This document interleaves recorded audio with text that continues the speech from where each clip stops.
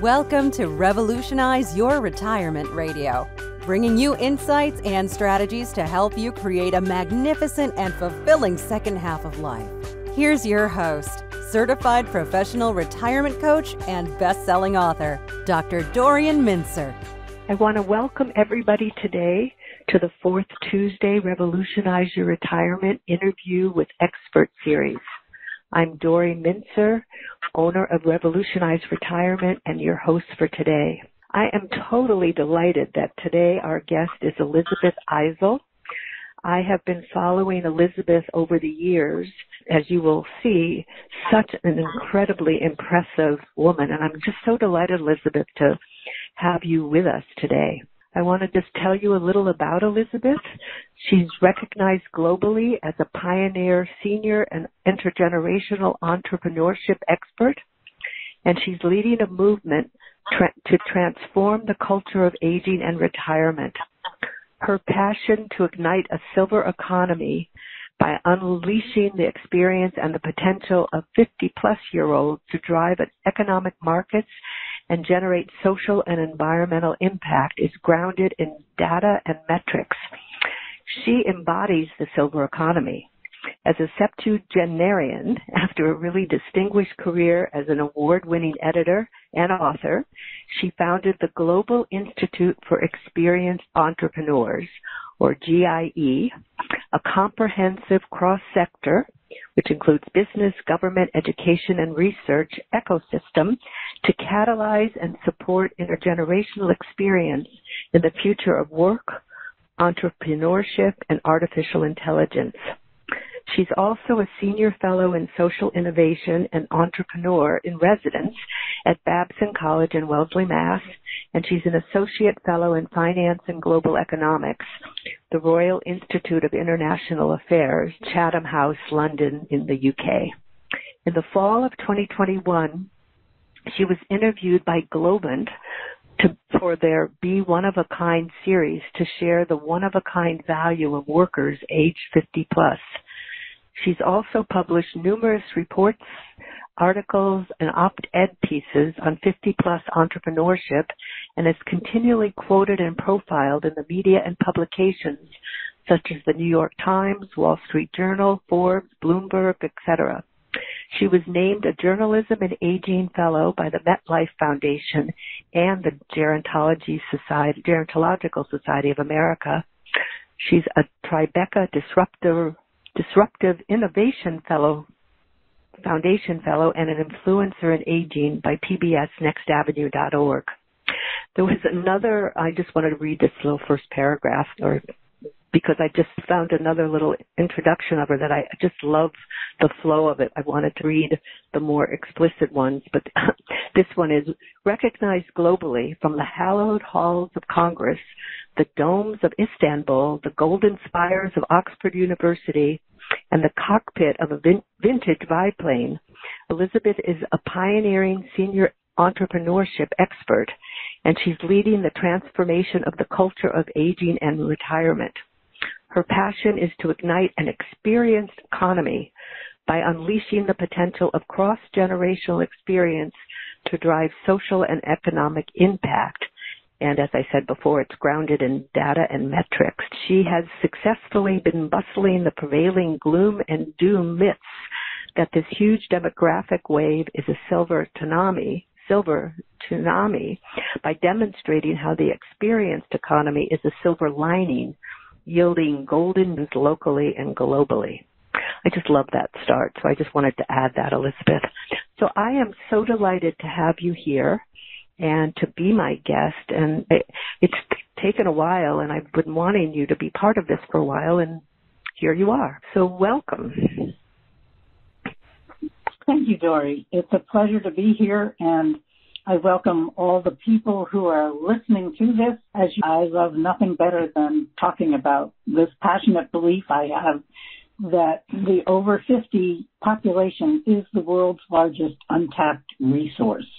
And I feel especially privileged to be part of your 10th anniversary, Joy. That's an accomplishment in and of itself.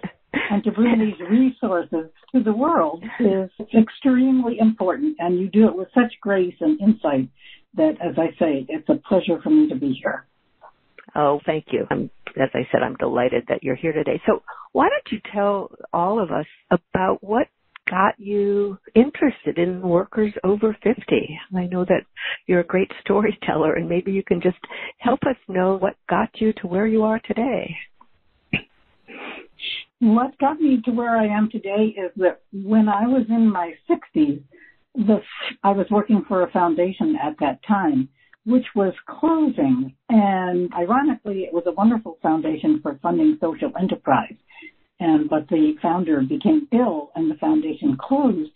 And I found myself trying to determine what else I would like to do, what kind of work I would like to do because I wanted to continue my interest in social enterprise and I found myself being completely ignored when I spoke with people about wanting to help them, wanting to work with them, wanting to find a job in essence. And I realized that this age barrier was enormous. And I was looking at people like myself out there who wanted to continue contributing, who wanted to share their experience and expertise with different corporations or governments or universities around the world.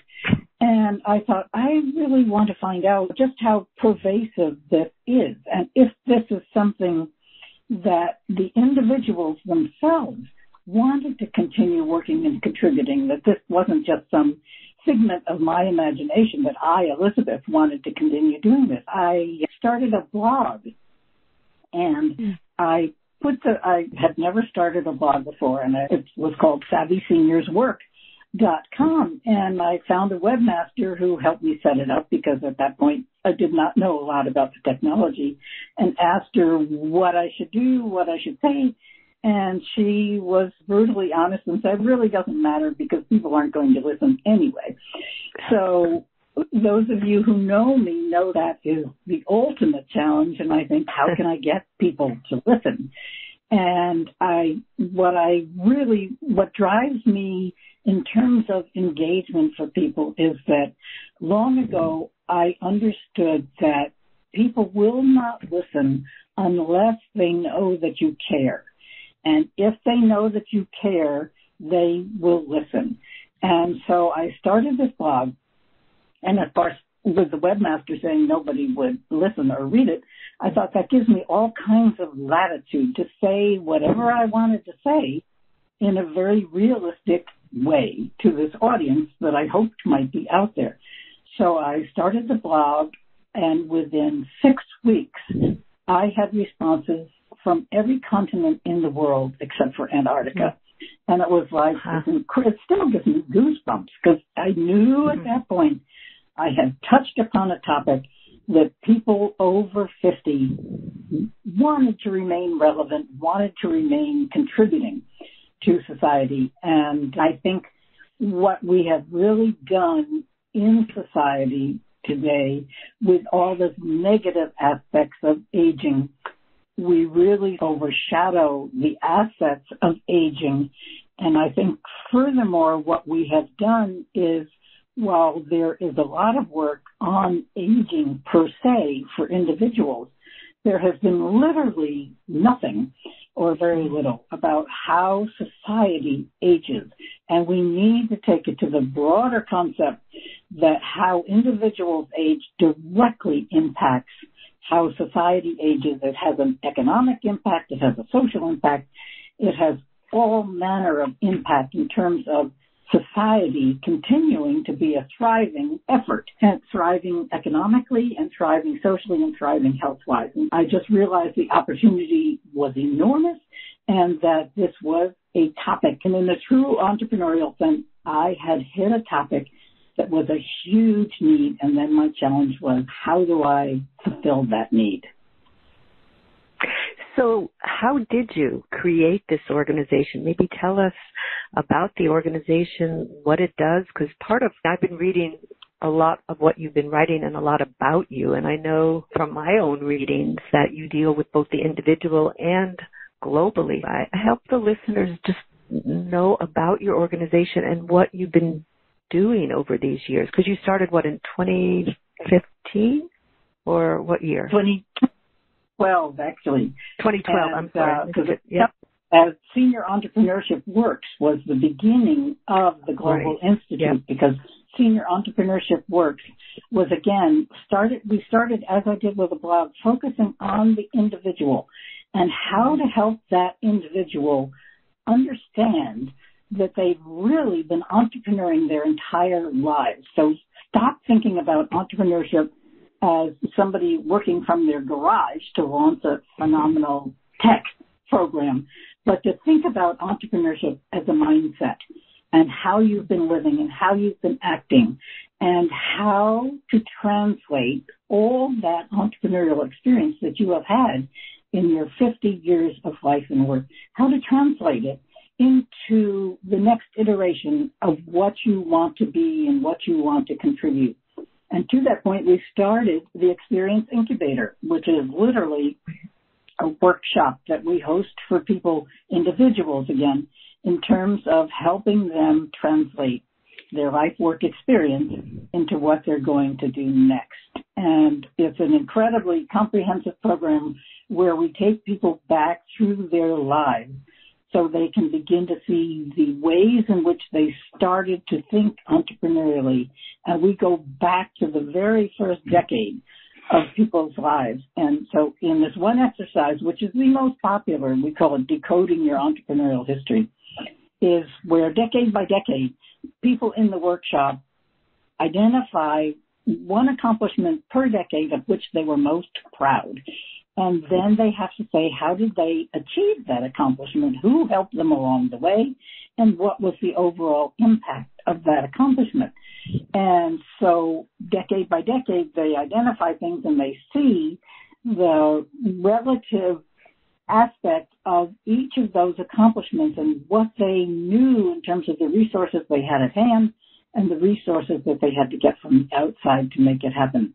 But one of the most interesting aspects of that is still to this day, I would say over 90% at least of the participants, the most entrepreneurial effort they were most proud of and they felt was made the most significant contribution to their entire lives happened in their first decade.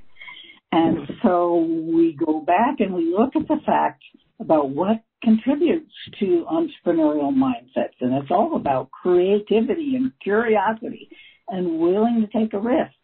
And as a child, you're much more willing to do that. And unfortunately, as we grow older and we get into schools, the public school system, at least in the United States, does a superb mm-hmm. job of squashing any kind of creativity and risk taking in the mindset. And it just gets worse as you get older because it's such, we're, and this is globally too, we're such a competitive society and that if you're in a school, you work as hard as you can because you want to get into the best school, you want to get into the best college, you want to get into the best job, you want the best chance of a promotion. So you are not going to take any risks that will handicap your achieving any one of mm-hmm. those things. And so we literally squash creativity because people are afraid to take the risk because they'll lose the opportunity. So it, that's a very long way of just saying how we work with individuals. But once we started working with individuals, I very quickly realized that it's absolutely no good for an individual to understand how to be an entrepreneur in starting a business or starting or an entrepreneur at their work unless society was going to support this demographic initiative. So then I started reaching out to governments. That's when we had the first U.S. Senate hearing on senior entrepreneurship because I wanted the government to see how impactful this was. This was not just supporting a few seniors. This was not doing something nice for the senior population in the United States. This was really, you are really creating economic engines by supporting these people over 50 and they are going to change the economy. And as I said at that hearing, I said, you waste millions of dollars paying unemployment insurance to people over 50 and over 60 who are never going to get a job again. But you insist on their looking for a job or they won't receive those insurance benefits. And I said, if only you turned that money around and made it an investment in senior entrepreneurship and helped seniors get the training they needed or help them get the funds they needed to start a business, the economic return on that investment is going to be enormous because these people starting businesses, no matter how small, are job creators. And it was so, it was the first Senate hearing on this topic and it was they were just going to videotape it through their normal congressional video channel so they could record it. But the room was filled to capacity, and all of a sudden someone said, I think CNN should record it.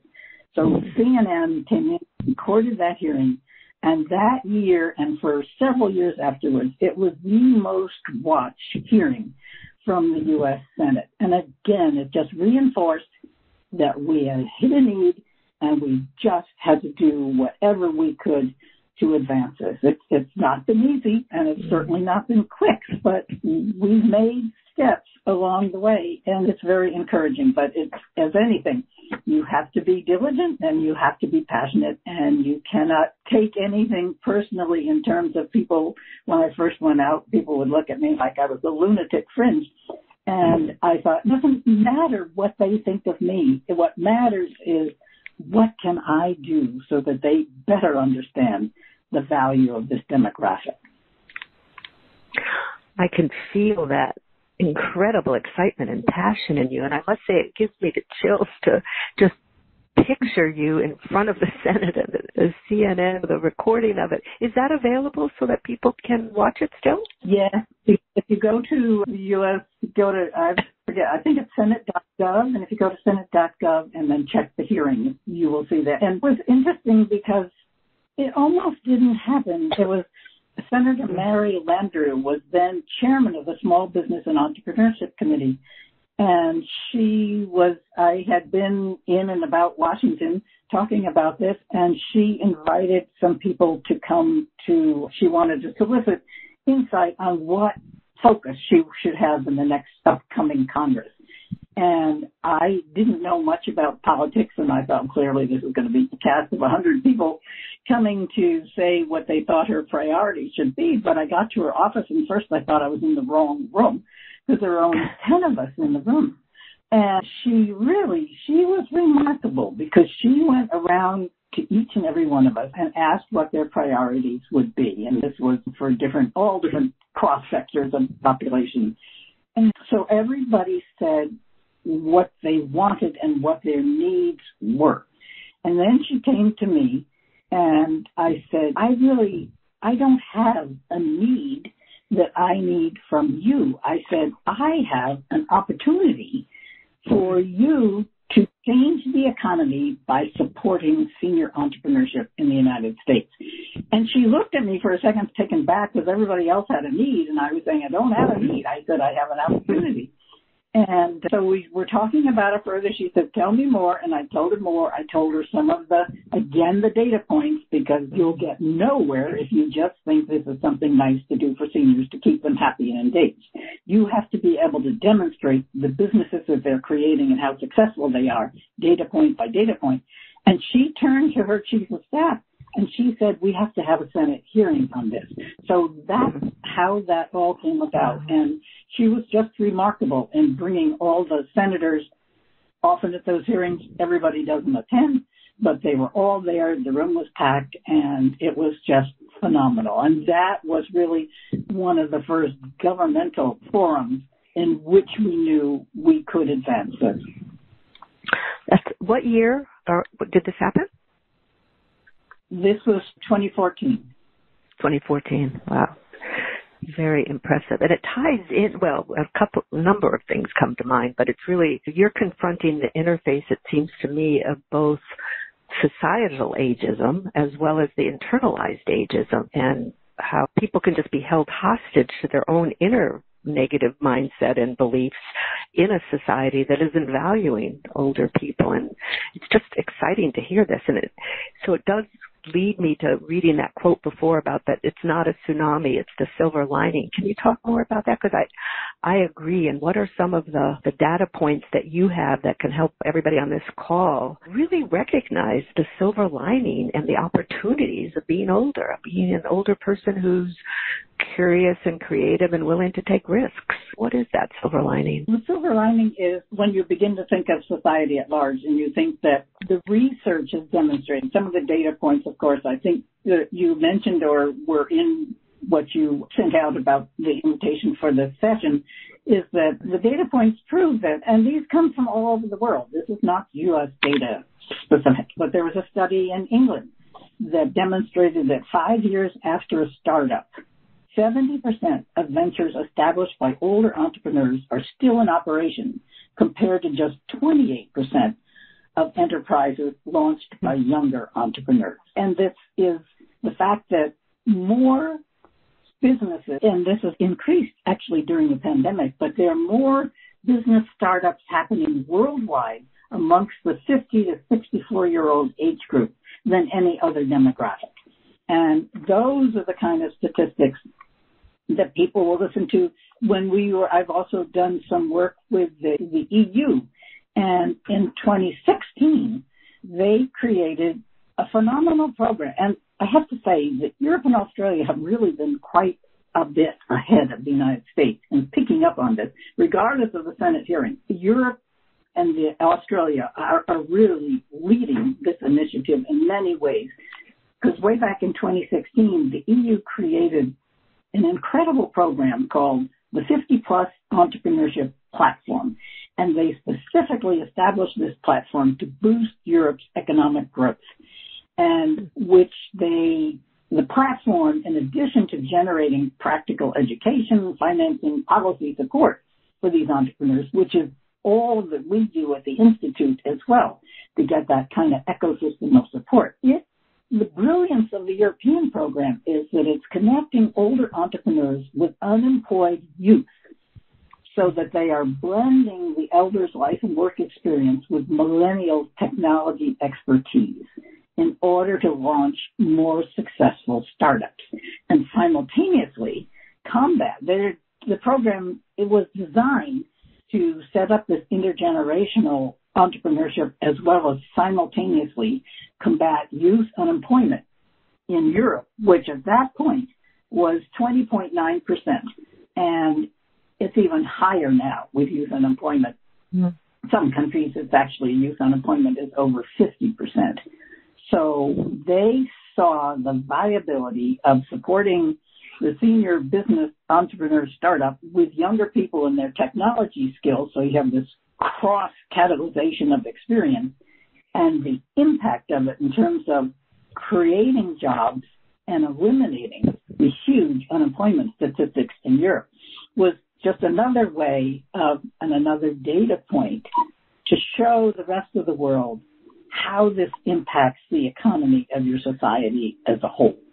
And here in the United States, the Federal Reserve Bank has a program which I'd say is the least. They need to talk about this program more because it's called Growing Grassroots Entrepreneurial Ecosystems. In this program the Federal Reserve Bank, which I had presented this idea to them at a conference and they picked up on it immediately. This wonderful person out in Omaha saw the value of it, especially in rural economic development.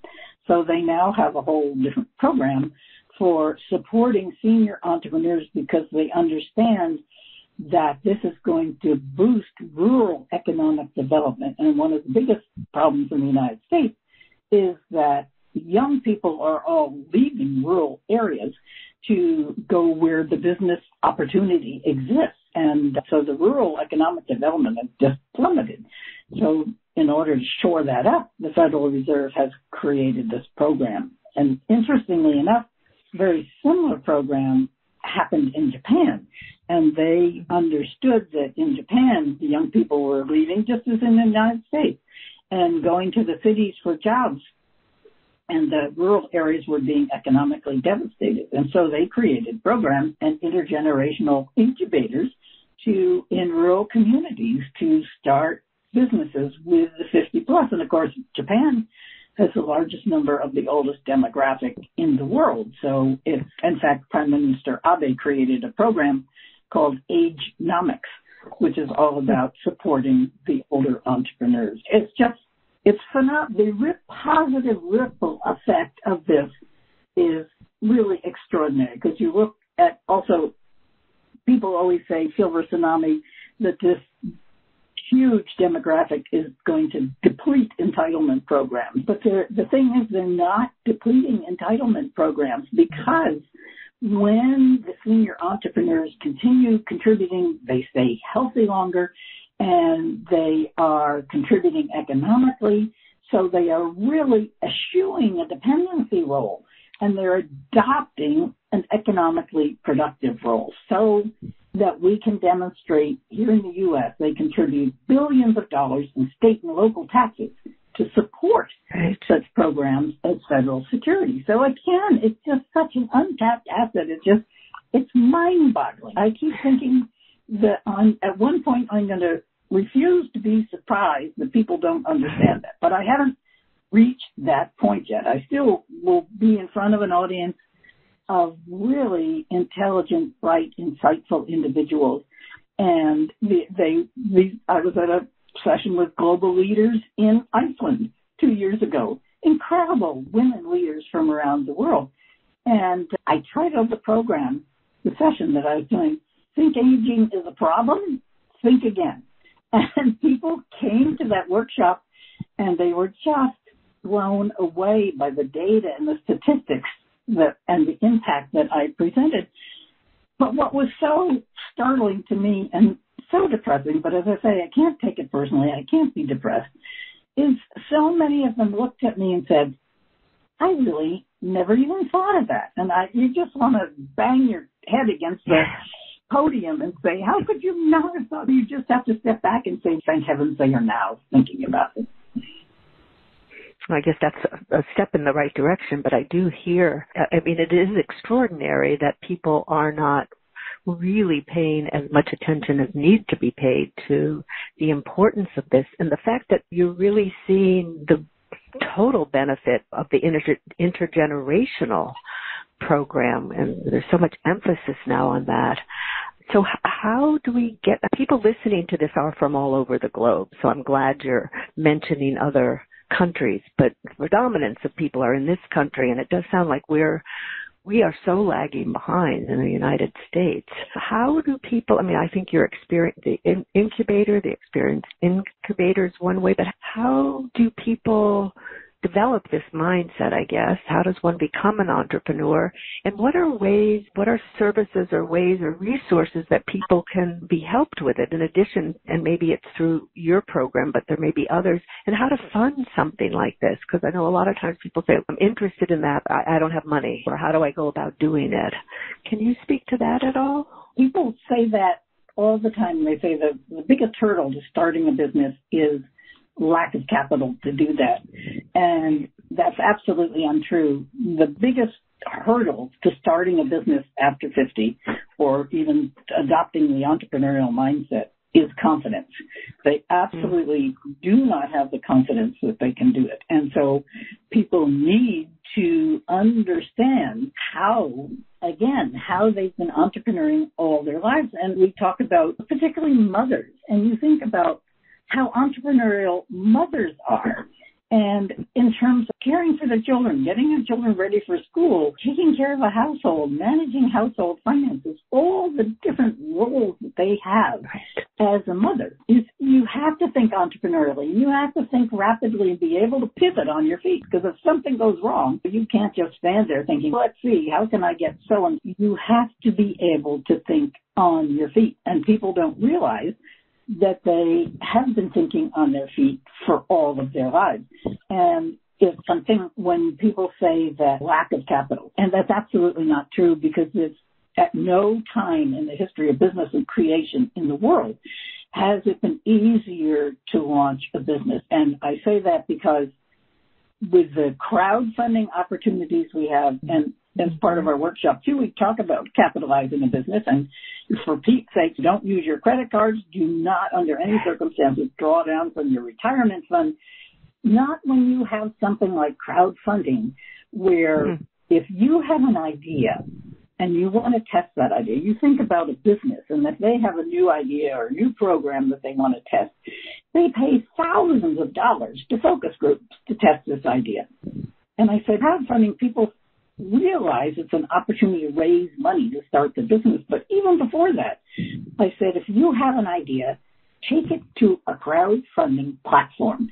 And if you put your idea on that platform and ask people to contribute, if they'd be willing to contribute a dollar to help get that business off the ground, and they don't, you have an instant focus group where you suddenly realize you've got to jettison that idea and move on to the next one because, and it's free. It's just people, that's the whole, people don't understand the market opportunity of crowdfunding in terms of focus testing your idea. And some of the people, and just to, to go back to what you said about how do you encourage people to do this or that they can do this, one of the most impressive entrepreneurs that I met and have interviewed over the years is Arlene Blum in California, and she's a 75 year old biochemist. But before she was a 75 year old biochemist, she also was a world class mountaineer. And she really, she was the first woman's team of any part of the world to climb Annapurna. And she just has this brilliant career in terms of mountains that she has climbed. So what's really extraordinary is the mountain she has physically climbed, she has direct parallels in terms of how to set up this business because she set up a business where it's Green Institute for she's dealing with helping people around the world deal with toxic chemicals such as PFAS, which everybody is talking about nowadays, but it's in all kinds of consumer and other commercial products and it's one of these polyfluoride combinations I can't even describe, that it's a forever chemical because it's, you cannot get it out. So it's how, what your business does is determine alternatives for people to use instead of this PFAS, which is persuasive, pervasive.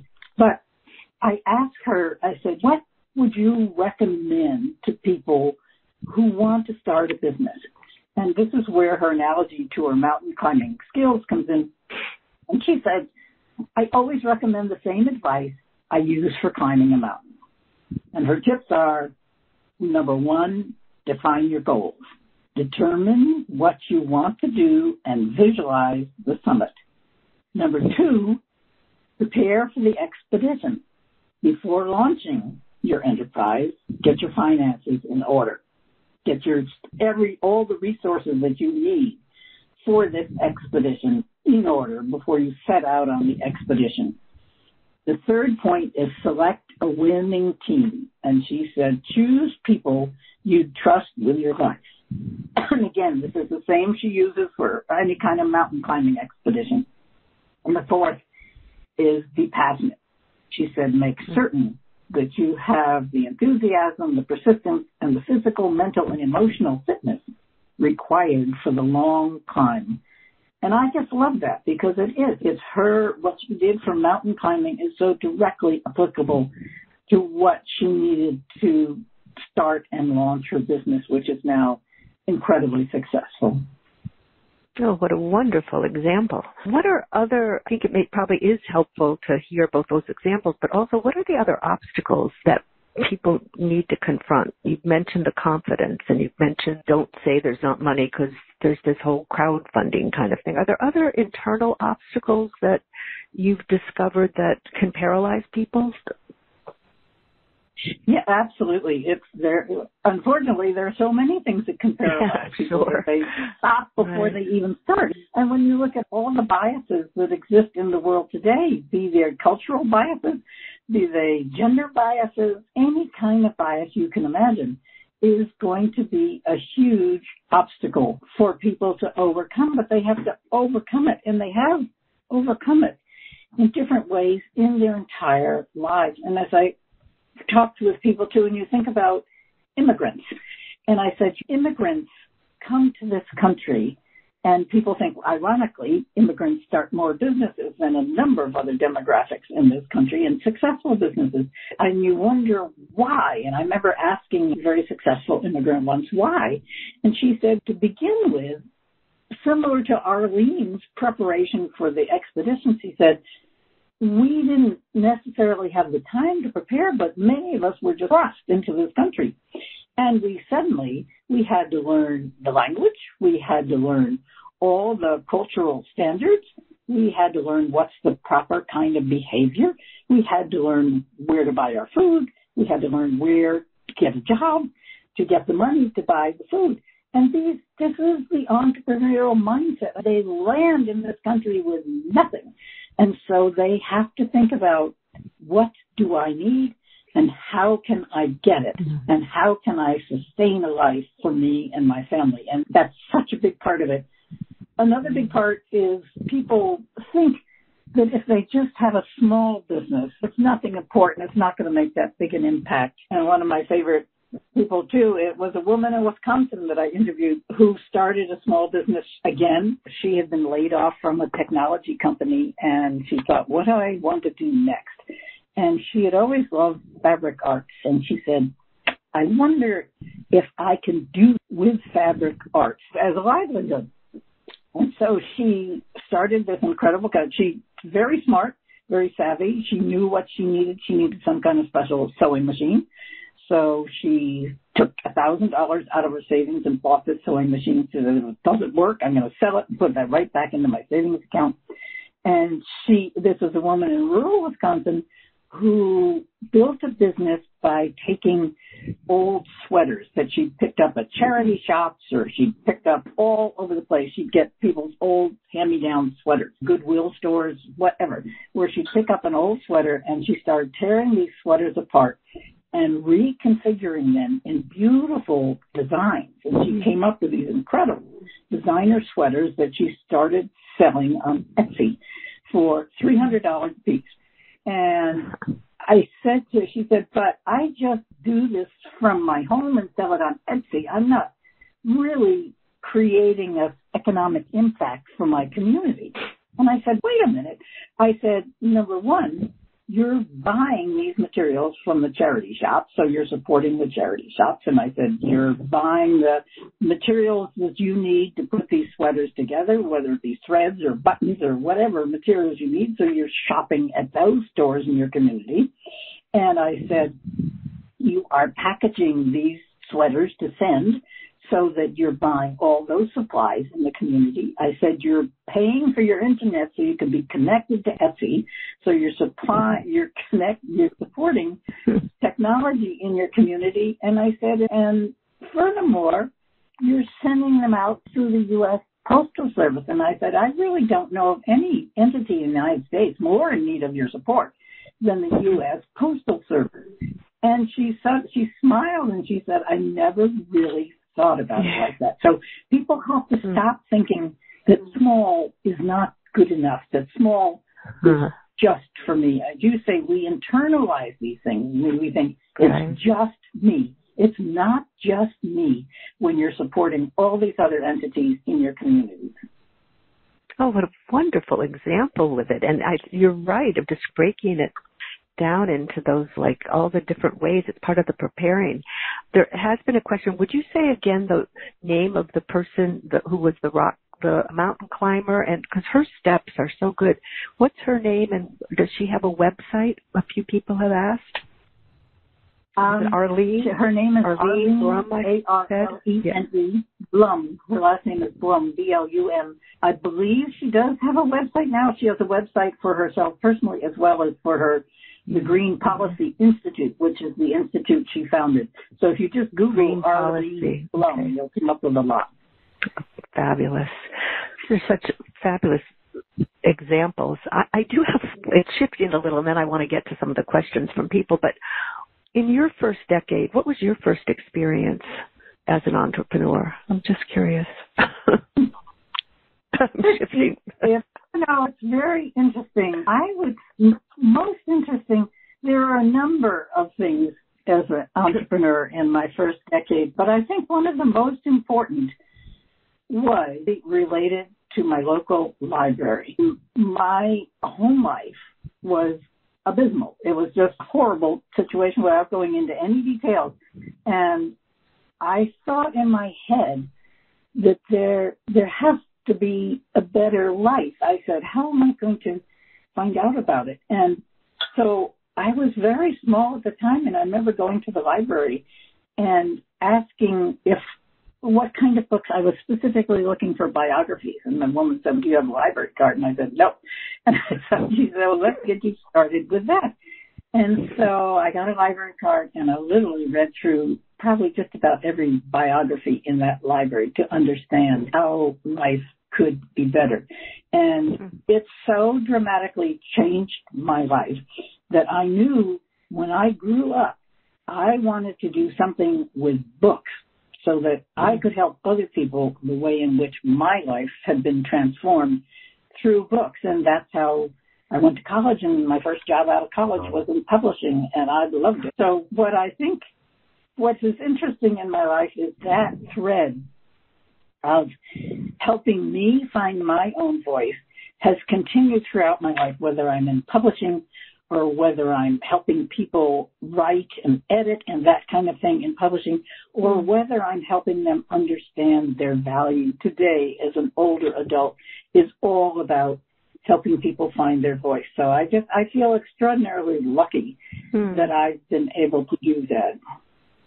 Oh, it's wonderful and beautiful and just shows the consistency of who we are and what our passions are and our own needs as well as knowing the needs in the world. So that's part of the finding our calling. I can't remember the quote of it right now, but you are a beautiful example of that. Oh, it's wonderful. But let me try to integrate a few of these other, I have so many more questions too. We could do this for hours. And maybe you'll come back again another time, I hope. But let me integrate some of these questions if that's okay with you. So Ed Absolutely, from, I love Okay.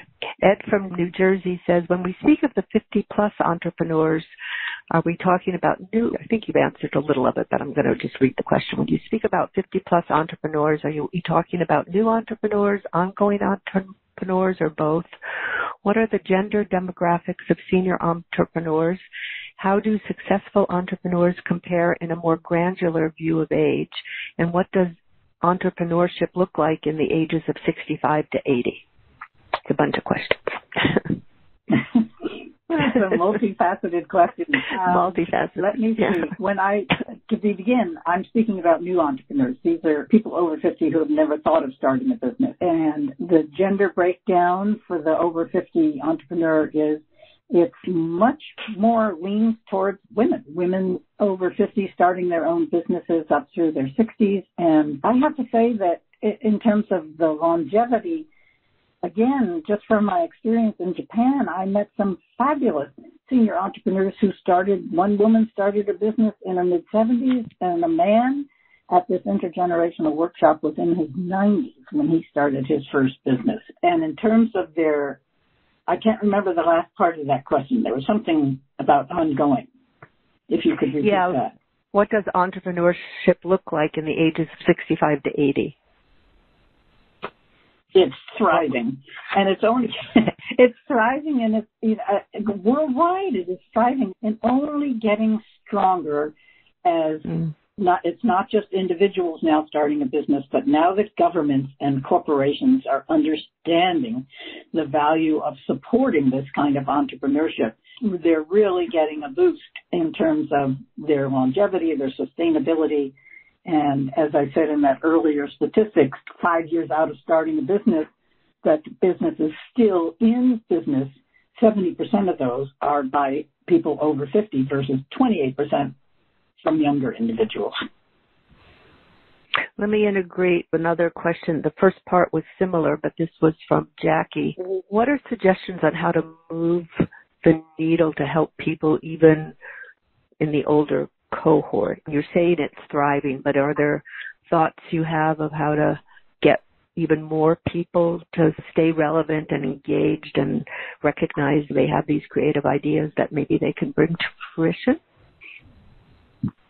One of the, the best ways to do that is if you're living in an area where there are either senior programs or senior living facilities, find a way to integrate those programs with younger people in the community. Again, in England, I was working with a wonderful group that was a cohort of leaders from different areas of aging, health aging, economy, finance, all the different aspects of aging, all the leaders in that community got together and said, they asked, what can we do to exactly what this question was, to help instill that kind of creativity amongst the older demographic and value amongst the older demographic. And I said, stop having these little coffee meetings and soirees where you're bringing people together to have them just go on a museum trip virtually or something.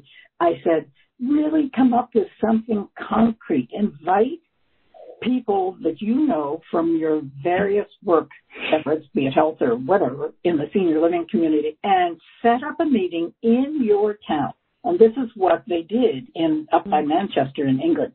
They set up these little, they call them community development incubators. And what they did is they brought young people to the table and they brought older people to the table from this community. And they didn't just bring them together to share coffee or ideas or have this kumbaya moment. They said, we have a problem in this community and we need your advice on how best to solve it. So they said, we want one idea from everybody around this table. And people would come up with their ideas and suddenly people were looking at someone across the table and thought, whoa, I never thought he could have an idea like that. Or the older people would look at the younger people and think, clearly they're are interested in something other than video games. All those biases were present in the room, but you cut right through them when the community leader said, we all understand there's a problem here. How can we fix it? So you have to bring people together around a problem that they can all contribute to solve. And then you really open up the opportunity for those people to become engaged and to contribute and to have their opinion as well as the younger people's opinion valued. It's just extraordinary, but you can't just bring them together over coffee and help them through talking mm. over different things in their lives. Something will happen. Create a problem and have them solve it. Oh, it's a wonderful example, and it just dovetails. I always like to say to people what Marty Seligman talks about in flourishing. Well-being is connection, engagement, and purpose and meaning, and all of that around that problem and the sharing and the intergenerational is such a way for people and communities to flourish. It's such a great idea. Absolutely. So Bill has a couple of questions from Massachusetts. He has a question about housing to start with. He says a recent survey by Realtor.com found that one in four homeowners who intend to sell in 20 2022 up from one in five. Yet everywhere you look, news reports say that the number of homes for sale continues to hit new lows. What that's causing intergenerational gridlock in the housing market as baby boomers and millennials and investors compete for low inventory. If the White House asked you to advise them based on your global perspective, what recommendations would you make to unlock the housing ladder and help baby boomers who intend to sell transition into their next phase of life? That's a big challenge. There's nothing creating more gridlock in society today than the housing shortage. And I know my own daughter was just trying to buy a house and the market is absolutely absurd in terms of it being overpriced and competitive and the idea that people will ask a price for a house and then accept bids up to 50,000 or 100,000 over the asking price for that house. It's just totally insane.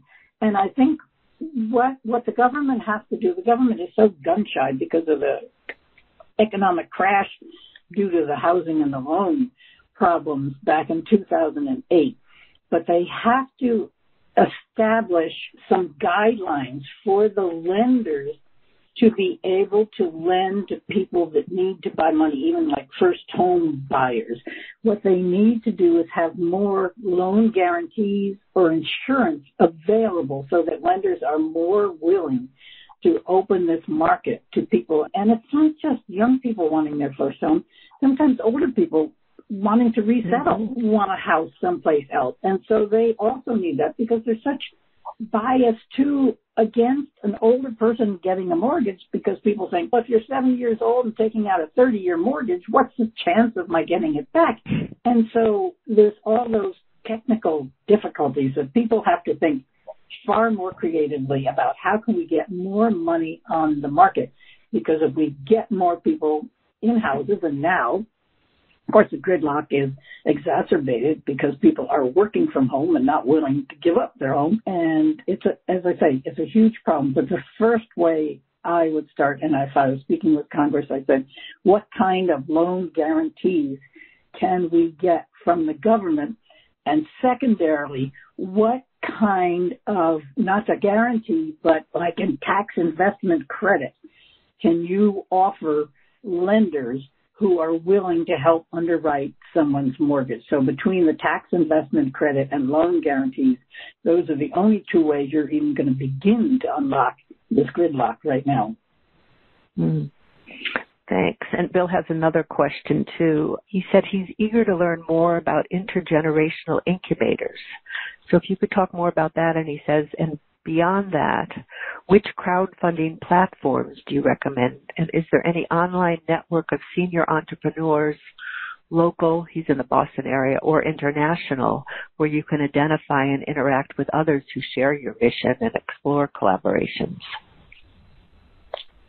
Yeah, there are lots of online networks, and if you just Google senior entrepreneurship networks, you'll find all of them of hmm. all different ilks, and you're sure to find a community in which you feel comfortable. And my challenge is if you don't find one, start one and create a community of people that you would like to speak with and like to share ideas and strategies and what's worked and what hasn't worked. The intergenerational incubators are extremely important because again, you're bringing seniors into an incubator which is thought thus far to be purely the realm of young people incubators and accelerators, everybody thinks of some young whippersnapper startup person in there thinking like crazy. But the more you integrate older people into these, or if the incubator itself will allow an older person to come into the environment, some of them you have to come in by membership or whatever.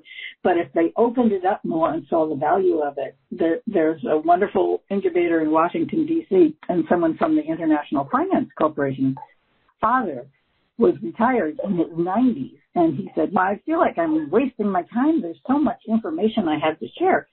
And so his son said, why don't you join this incubator? And he'd never heard of the incubator. So he joined the incubator, and he said for the first couple of months, he just sat at the desk there, and young people would walk by staring, wondering what this 90 year old person was doing there.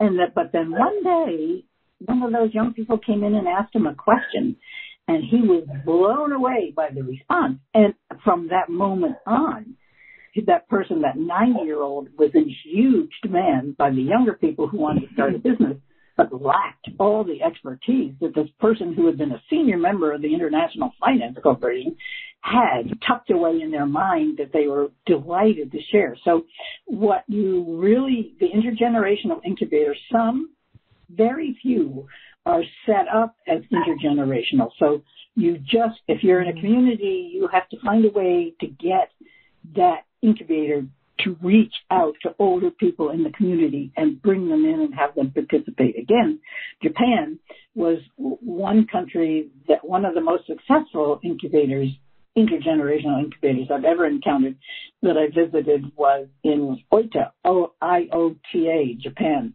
and it was just brilliant. And that's where I met the 70 plus year old and the 90 year old entrepreneur. That's interesting. So that so Michelle from Boston says she's curious. Why would somebody in their 90s start a business? And then she says, I find a number of senior programs focus and encourage volunteerism or based on social activities. And then further, she says, where would you steer a 65 plus woman with an entrepreneurial spirit to expand ideas and create a team? again, the 60 plus year old woman, no matter where she lives, need to reach out to her community. I would even say start with the community economic development folk. And if mm-hmm. she has an idea or she has something that she'd like to start, to come and present, like I presented the idea to Senator Mary Landrieu. I said, go to the community economic development folk and say, I have this idea. I think it will benefit the economic health of the community and see what kind of support she can get. And they will in turn also have other groups that they can recommend to this woman to help her. The, in terms of the 90 year old, why would they want to start a business? Because it doesn't matter how old you are. you're just have immense curiosity and you want to try something. You want to do something. And it's not just volunteering is wonderful, but there's something very gratifying about starting a businesses and creating jobs and helping others and really boosting uh, the economy of your community. And some people never lose that. Mm-hmm. The quote that perhaps many of you on this call will remember that I absolutely love is one that is as that we don't playing because we get old. We get old because we stop playing. And we then when you get older, it's not so much physical play as it is playing with ideas. And the whole concept of intellectually playing with ideas and seeing if they're going to work and test them, not just playing for the idle sake of just testing them and thinking about them, but actually putting those ideas, challenging them. Are they going to mm-hmm. work or are they not going to work? It, it, that has no shelf life. As long as you live, you have that curiosity and that creativity and the imagination.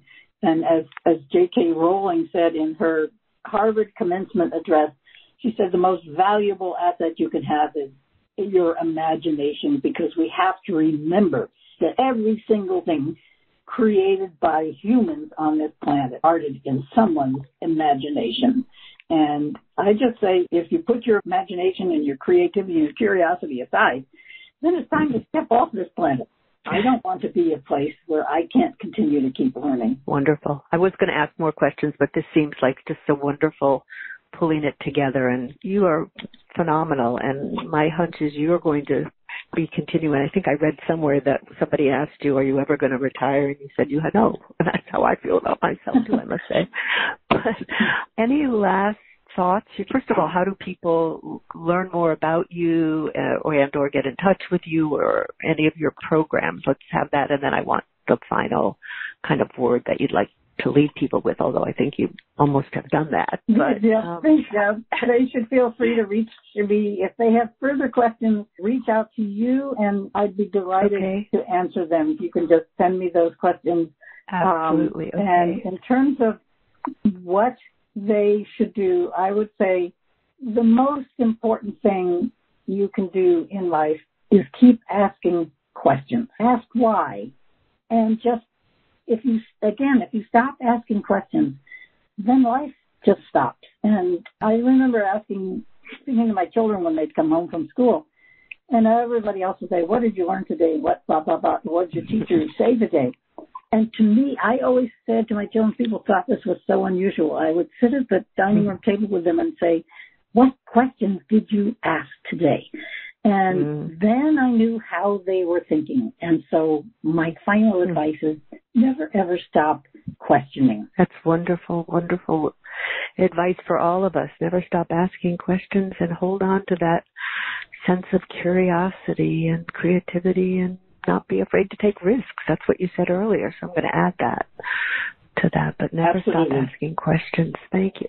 Thank you so much, excuse me, for being here today and being with us. And I do hope you will come back another time and you are an inspiration in the work you do. May it continue. So stay safe and well. Take care. Thanks again for being here. Thank you. It's been an honor to be with you all. You've been listening to Revolutionize Your Retirement Radio with Dr. Dorian Mintzer. To learn more about the resources mentioned on today's show, listen to past episodes, or download our free retirement transition guide, visit revolutionizeyourretirementradio.com.